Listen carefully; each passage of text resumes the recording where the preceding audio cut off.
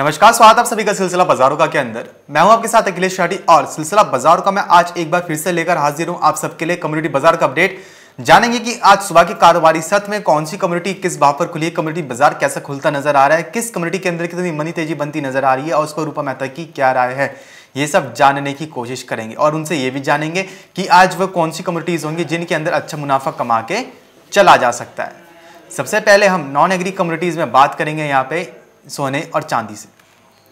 तो बीते सत्र में हमने देखा था कि जो सोना था, वो ज़्यादा डॉलर तेज होने की वजह से, जो यूएस डॉलर था, वो यूरो के अगेंस्ट की बात की जाए तो उसके कंपैरिजन में 16 मंथ के हाई पे था 16 महीने के ऊपरी स्तर पे था, जिसकी वजह से डॉलर में तेज़ी आई और उसका जो इम्पैक्ट है सोने की कीमतों के ऊपर पड़ता नज़र आया और जो सोना है, वो कहीं ना कहीं अपनी ऊपरी कीमतों से टूटता नज़र आया है। आपको बता दें कि सोना इस वक्त इंटरनेशनल स्पॉट मार्केट के अंदर 1808 डॉलर पर कारोबार करता नज़र आ रहा है। वहीं सिल्वर भी 24.3 डॉलर पर कारोबार करती नज़र आ रही है। तो गोल्ड और सिल्वर दोनों में ही डॉलर के तेज रहने का असर देखने को मिला है। बात करें यहाँ से अगर कच्चे तेल की तो कच्चे तेल देख रहे हैं छिहत्तर डॉलर पर है। आधे फ़ीसदी से ज़्यादा की गिरावट है और ब्रेंड क्रूड ऑयल भी उनासी डॉलर पर है आधे फ़ीसदी की गिरावट के साथ। देख रहे हैं कच्चा तेल आज भी आद, लाल निशान के साथ कारोबार करता नज़र आ रहा है। बावजूद इसके कि जो सप्लाई कंसर्न्स है वो अभी भी जारी है लेकिन कच्चे तेल की कीमतों में तेज़ी अभी देखने को हाल फ़िलहाल में नहीं मिल रही है जो हमने पहले कुछ लगभग एक महीना पहले आती हुई देखी थी। तो आज सोना चांदी कच्चा तेल बेस मेटल्स का बाज़ार कैसा रहेगा और क्या रणनीति अपना कर चलना सही रहेगा आइए जान लेते हैं रूपा जी से। रूपा जी बहुत बहुत स्वागत है आपका मार्केट एम पर। Morning good morning Rupa ji Rupa ji देख रहे हैं कि गोल्ड और सिल्वर अब कहीं ना कहीं फिसलते नज़र आ रहे हैं। हमने बीते सत्र में डॉलर को यूरो के अगेंस्ट 16 महीने के ऊपरी स्तर पर देखा है और उसका असर सोने चांदी की कीमतों पर भी कहीं ना कहीं पड़ता नज़र आया। आपको क्या लगता है, क्या सोना 1800 डॉलर के नीचे फिसलता नज़र आ सकता है? देखिए अखिलेश जो सिनेरियो बनता हुआ दिखाई दे रहा है कल भी हमने डिस्कस किया था अभी मैंने ये बोला था कि एक बार सोना चांदी ऊपरी स्तरों से फिसल सकते हैं क्योंकि डॉलर के अंदर अच्छी खासी स्ट्रेंथ आती दिखाई दी है जिसका इम्पैक्ट जो है इसके ऊपर सोने और चांदी की कीमतों के ऊपर आता हुआ दिखाई दे रहा है और ऊपर ऊपरी स्तरों से मार्केट लुढ़कते हुए नज़र आए हैं हम्म। और आज भी आप देखिए सोना जो है कल के कारोबारी सत्र में अच्छी गिरावट हमने देखी इसको जो अठारह सौ चालीस के ऊपर सस्टेन था कल मॉर्निंग में। आज देखिए आप 1800 डॉलर पर कारोबार करता नज़र आ रहा है। आज हल्की सी बाउंस बैक दिखा रहा है लेकिन नीचे में 1780 के आसपास सपोर्ट ले सकता है। वहीं चांदी भी 24 डॉलर 20 सेंट के आसपास लुढ़कती हुई नज़र आ सकती है। इनफैक्ट 24 डॉलर तक भी जा सकती है। हम्म। तो अभी फ़िलहाल जो है वो प्रेशर ऊपरी स्तरों पर बनता हुआ नज़र आ रहा है और ये प्रेशर अब कॉन्टिन्यूशन में मे भी आपको कुछ एक दिनों में दे, देखने को मिले। अगर सत्रह सौ अस्सी डॉलर तोड़ता है तो वापिस से गिरावट की तरफ़ जा सकता है। लेकिन ईयर ऑन ईयर बेसिस पे अगर हम देखेंगे तो पॉजिटिव है आउटलुक निचले स्तरों पर लॉन्ग टर्म स्ट्रेटेजी बाइंग की रह, रह, की जा सकती है। और इंट्राडे में भी आज थोड़ा बहुत बाज़ार जो है सपोर्ट लेता हुआ दिखाई दे सकता है। जैसे कि कल हमने इसको अड़तालीस के नीचे लुढ़कते हुए देखा है तो आज मुझे लगता है कि एक बार सैंतालीस के आसपास सपोर्ट लेकर वापिस से अड़तालीस हज़ार एक सौ अड़तालीस हज़ार दो सौ के रेंज में घूमता हुआ दिखाई दे सकता है। यानी कि प्रेशर है आज। हम्म। सौ से डेढ़ सौ पॉइंट की गिरावट आज इंटरडे में भी एक्सपेक्टेड है कि देखने को मिल सकती है। और वहीं से अगर बाउंस बैक आ गया तो वापस से तेज़ी की तरफ़ बाज़ार जा सकता है। अदरवाइज़ फिसलन बढ़ सकती है। सेम एज इट इज़ चांदी भी अभी आज चौसठ, पैंसठ हज़ार के नीचे ट्रेड करती हुई नज़र आ रही है तो आज चौसठ हज़ार के नीचे लुढ़कती हुई दिखाई दे सकती है। जी।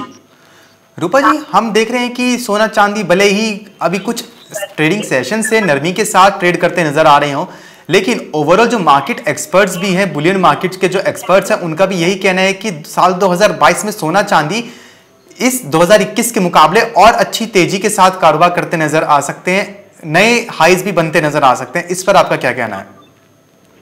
बिल्कुल। 2022 की अगर हम बात करते हैं Akhilesh year on year basis की अगर बात करें तो डेफिनेटली सोने और चांदी के अंदर दोनों के अंदर ही ईयर ऑन ईयर बेसिस पे आपको एक अच्छा अपसाइड मोमेंटम देखने को मिल सकता है। और मुझे लगता है कि अभी सोना जो है 2022 में डेफिनेटली आपको 1900 डॉलर के ऊपर सस्टेनेबिलिटी हो सकता है कि आपको देखने को मिले जिस तरीके का सिनेरियो बन रहा है। और आप पिछला इतिहास उठाकर देखिए हर साल की अगर हम बात करें इस साल का आउटलुक लेकर चले तो हमेशा ही सोने ने एक अच्छा रिटर्न दिया है। जैसे जी, नज़र डालें अगर कच्चे तेल की कीमतों की तरफ़ तो देख रहे हैं डब्ल्यू टी आई छिहत्तर डॉलर पर और ब्रांड क्रूड ऑयल उन्यासी डॉलर पर कारोबार कर रहे हैं। आधे फ़ीसदी से ज़्यादा की गिरावट दोनों के अंदर बनती नज़र आ रही है। रूपा जी, खबर निकल के सामने आई है कि जो अमेरिका है, अपने जो इमरजेंसी स्टॉक पाइल्स हैं, जो इमरजेंसी के लिए स्टॉक रखा जाता है कच्चे तेल का, कच्चे तेल की कीमतों को कम करने के लिए उसमें से इन्वेंट्रीज कुछ बढ़ा सकता है, वो स्टॉक का इस्तेमाल कर सकता है। ऐसे में आपको क्या लगता है? जो डिमांड कंसर्न है और सप्लाई कंसर्न है, पूरे ग्लोबली कच्चे तेल का, और फिर ऊपर से यूएस द्वारा ऐसे इन्वेंट्रीज जारी करना तो कच्चे तेल में आगे जाके कैसा रुझान देखने को मिल पाएगा?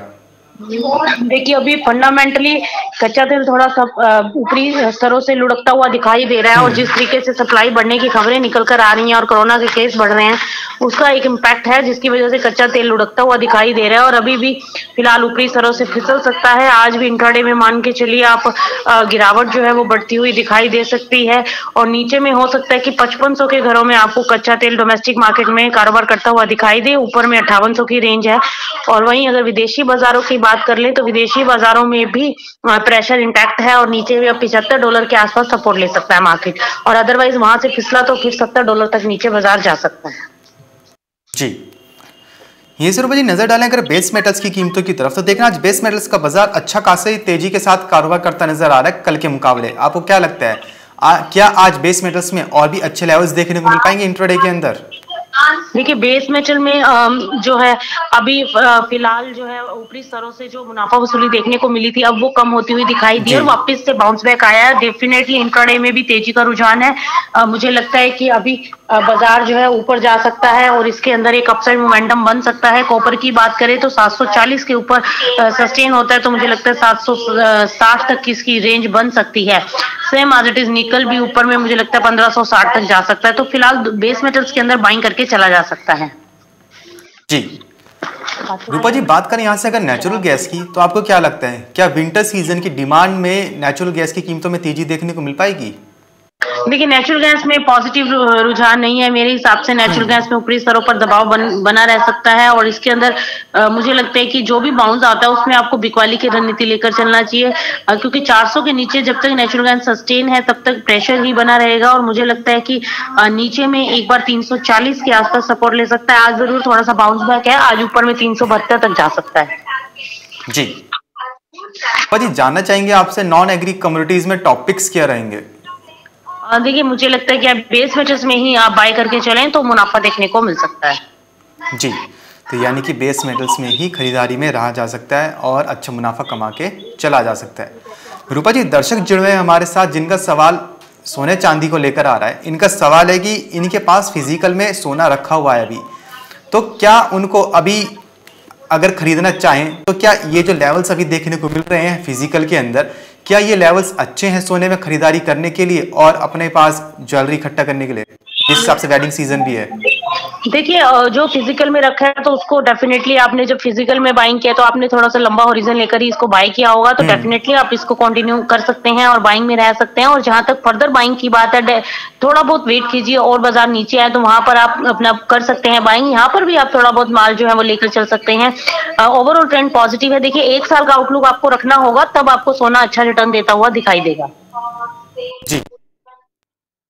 तो ये तो बात करी थी हमने यहाँ पे नॉन एग्री कम्युनिटीज़ की। फ़िलहाल, सिलसिला बाजारों का मैं अभी के लिए बस इतना ही, लेकिन आप कहीं जाएगा नहीं, क्योंकि खबरों का सिलसिला लगातार यूँ ही बना रहेगा मार्केट एम पर।